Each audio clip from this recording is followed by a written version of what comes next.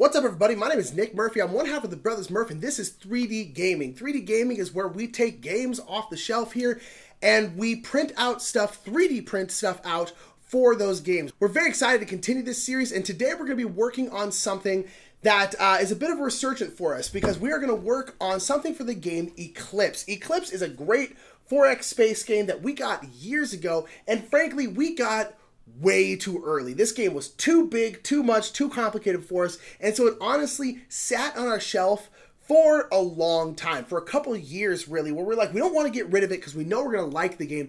We just weren't ready for it. So recently, we started playing it again, and it's been very, very exciting because we really, really like the game. And now we're like, this game's not that bad at all. But for the time that we got it, it was a lot. So now that we have the game, we want to upgrade it. But one of the main things we wanted to do was make an overlay for the player boards. These are the player boards.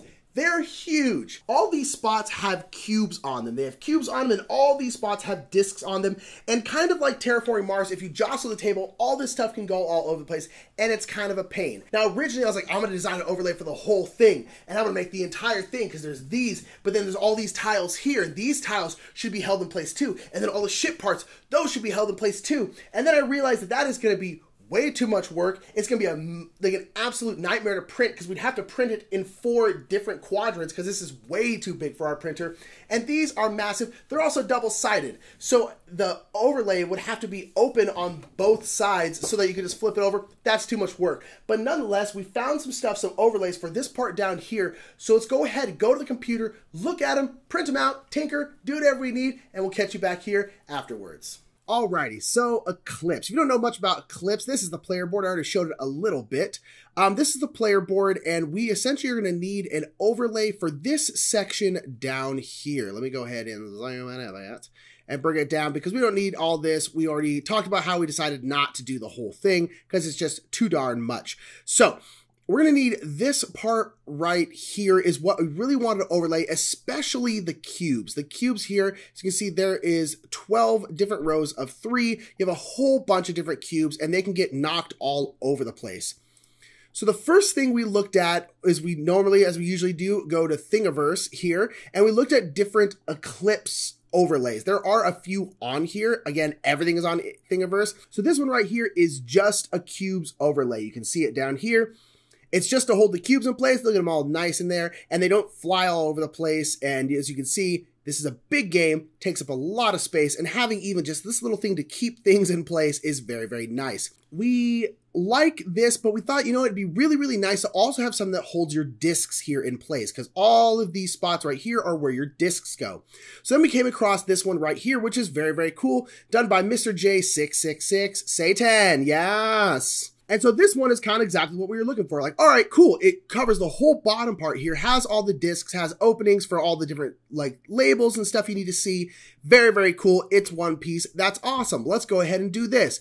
But then we ran into a problem. This is too big for us to print. So I uploaded it over here to Cura, and as you can see, oops, and as you can see, this is too large. When it has these lines on it like this, this means, hey, this is too big. We literally can't print this and it won't let you prepare it or export the file at all. So then I thought about taking this and modifying it. The problem with Tinkercad here, which is where we do most of our 3D modeling stuff, is Tinkercad doesn't have a good slicing tool. There's not like a good way to like just cut something in half. Like, oh, I need this, but this is too big for me to print. So I'm going to go ahead and cut it in half. This side will be, I'll print this side and then I'll print this side. Yay, I'm done. Tinkercad doesn't really do that. I've looked all over it and everyone's kind of like, hey, here's a workaround for the fact that Tinkercad, for some reason, doesn't have like just a normal cut function. So then we were kind of stuck again because I wasn't going to find an easy way to cut this piece. So then he was like, you know what? This is pretty simple. All it is is squares and then discs. Let me go ahead and try my hand at making one myself. So that is what I did. I actually created our own overlay that we could print ourselves. And essentially what I did is I made the cube part and the disc part, but then it cuts along this line right here. And it does have to move a little bit because these don't line up. So it goes up, cuts over, boom, and then this is one half that we can print, and then we can print this half over here. And I'm like, it'll be fine. I can do things like this. And it ended up being way, way harder than I thought. So these four things right here, this is all the different files I had where I was working on different stuff. You can see the stuff for the discs and the cubes and like little these pieces right here, which I'll explain in a second. But one thing I do want to point out is what program I'm working on here. A lot of people have asked about it, what the program was. It is called Tinkercad. You can see us right here, the brothers Murph. Ah! But Tinkercad here is a browser software. So you just go to tinkercad.com and it opens up. You can sign up and use it for free. It's open source, it's free, and it's called Tinkercad. So it's T I N K E R. So just Tinker and then C A D. And C A D stands for Cornelius Applestrudel Dumpelskin, who is the man who created Tinkercad. So he wanted to shout out his own name in there, which I think is totally fair. So here you have the different files, which I've opened up in here, all the different stuff that I was working on. This ended up being way, way, way harder than I thought. There's a lot of different stuff, and it just comes down to like you need specific measurements for things. But one of the main problems, and this is different from making like an insert, in my opinion, is I need to measure out these cubes and how big this needs to be, but then you also need to measure out the distances between everything. So the distance between this number and this number, how much is this? How much is the distance between here and the edge of this circle right here? Because again, you need this to be open. How much distance between here and here, between here and here, between here and here, between here and here, between here and here. And so there was just this constant measuring and trying to figure out exactly what needed to be what. You know, this circle right here is 17 millimeters, but this one right here is only 14 millimeters. So do I want to make them two different sizes or do I want the whole thing just to be 17? And so designing this ended up being kind of a massive nightmare because it was just this constant trying stuff out and like moving stuff around and being like, okay, so what's the exact distance between these two right here? And then essentially having to print them all out and do a ton of different tests. Lots of tests.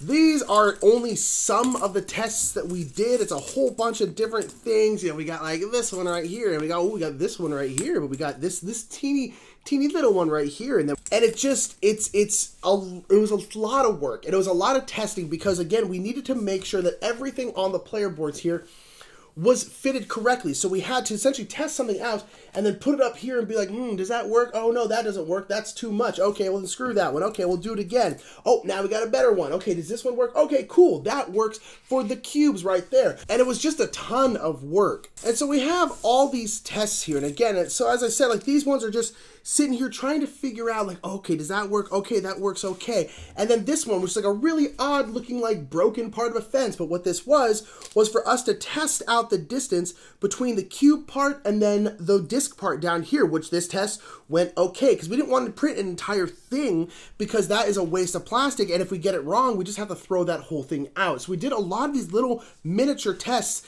I mean, all of these right here are just to figure out the size of these cubes. Like, is this going to fit right here. Do all the cubes actually fit inside these? It was just, it was a lot of testing. These are all the different individual tests we had to do. So we have like bottom discs and right, big right test, and eclipse test, and puzzle test, puzzle test, puzzle test, puzzle test, puzzle test.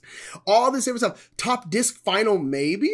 And ultimately it turned out fine, but it was a lot of work. But nonetheless, we were able to do it. So then I came down to the question of, how am I going to connect these two things together? Because I have to print them separately because I can't fit something like this on our printer. So how am I going to connect this together? So this is when I had the idea of doing some kind of connector puzzle piece. So here are a number of examples of little puzzle pieces that we tried out. The first one we tried out were these little ones right here that we made, you know, trying to have something where you could lock it into place.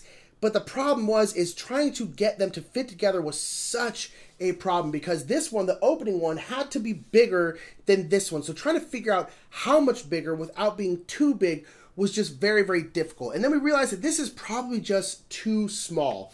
So we tried to move on to like a more traditional kind of puzzle piece, which again, probably could have worked. But then the problem with that is this one right here is probably too long this way. We needed something a little longer this way, not this way. So then we tried out these ones right here. And these ones worked the best. We finally got to the point where we could make like a pretty decent little puzzle piece. It still wasn't perfect, but we probably could have tweaked it a little bit and made it a little bit better. But again, it's just too small and it just didn't work and and it was just ah, it was just a giant failure really. And the puzzle piece failure really kind of drives home the main challenge with what we're trying to do, which is print stuff out for board games. And the main problem with that is is the most of the stuff you're printing out is incredibly small. For if we're trying to make like birds for wingspan, if we're trying to make like little puzzle pieces like this, we just have no room to work in. And and that's the problem is like these puzzle pieces could work totally fine if we could make them bigger. And that's what I think the the main challenge that we found with this is the fact that you're just working in such small areas. That's one of the reasons why we had such problems with the wingspan birds. It was because they were just they were like this big. They were like you know, three quarters of an inch, which I think is like 86 centimeters or something like that. I don't know. Um, but it's just, they're so small that, especially when you're trying to get detail on them, it's very difficult. And that's exacerbated by the fact that we also have a cheaper printer. Our printer is great, don't get me wrong. It does wonderful stuff and it's been able to handle all this kind of stuff like an absolute champion.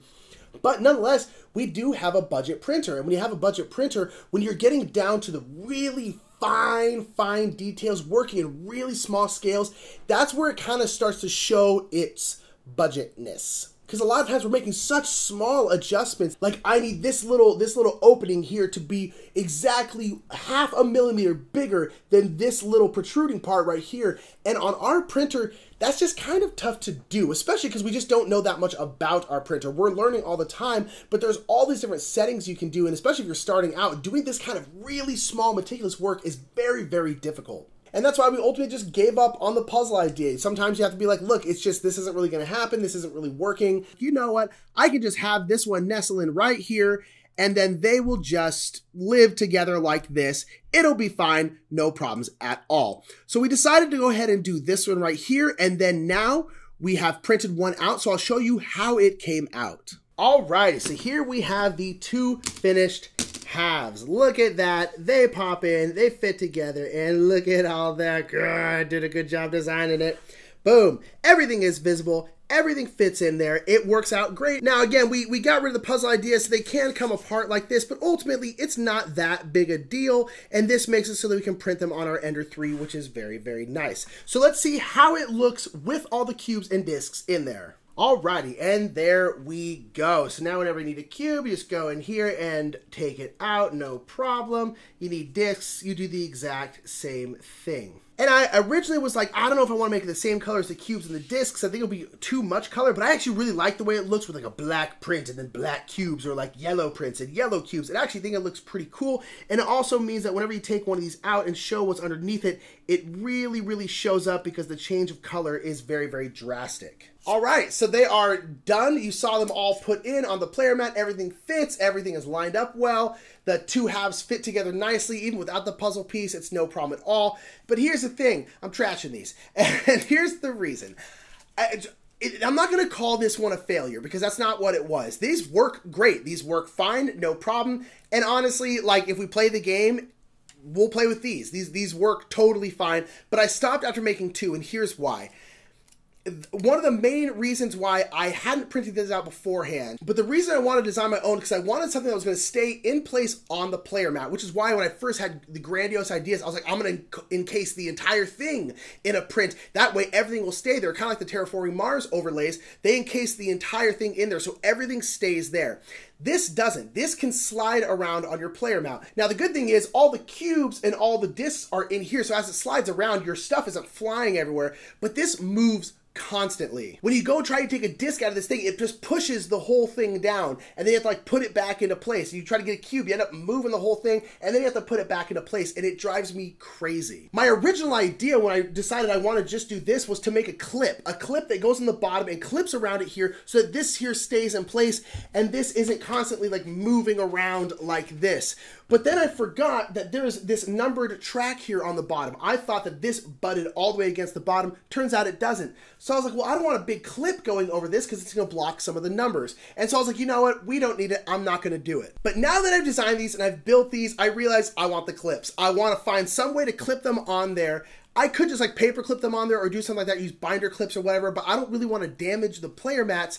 And I just, uh, I don't know. I, I, I want to design it, but I don't really know how to design clips, so I have to figure that out. So as of right now, we're to put this one kind of on hold. It's not a failure because these work just fine, and I like them just fine, and ultimately they're better than the alternative of having nothing. But I want to design them with some clips that go on the bottom that don't obscure the numbers on the bottom of the mat. And so it keeps them in place and you can just hold them right there. And as you move your mat around, they go along with it. Um, and so we're going to revisit this one. I'm not entirely sure when. There's probably some other stuff that'll come in between this episode and then the follow up episode of the eclipse. But nonetheless, I, I want to come back to this. So I'm dedicated to making it work how I want it in my head. Um, and so this works fine. And, and I think ultimately these are quick to print. They're each like 45 minutes each for each one of these things. They're totally fine. It's easy, cheap, great but I want I want a little bit more. So that is going to be it for this Eclipse episode. It's kind of ending on a weird note, but nonetheless, um, I'm I'm happy with my design. I'm happy that I was able to figure it out, despite the fact that it took me forever to do it. But nonetheless, I, I made it work. I'm happy with that. Um, and and overall, this has been a success. And so, um, thank you so much for joining me here on 3D Gaming. Let us know down in the comments what you want us to print out, whether it's bling for games or inserts for games or whatever. Uh, we want to do more and more stuff, but we really would like you all to drive the content if possible. And please make sure to like and share this video and subscribe to the Brothers Murph if you haven't already. And so, until next time when we revisit this or revisit something else, uh, this has been 3D Gaming. Thank you for joining me. I love you all. Have a great day. Hello. I want to let you know that we have a Patreon and that you should check it out. There will be a button some somewhere around here probably that you can click to help out the Brothers Murph. Click the Patreon. Do it. Also, got to let you know that we're sponsored by Restoration Games and by Game Toppers. Go to GameToppersLLC.com to upgrade your gaming experience. Look at that label. It's beautiful. do it. Do it right now. I hate you. I'm sorry. I love you. Bye.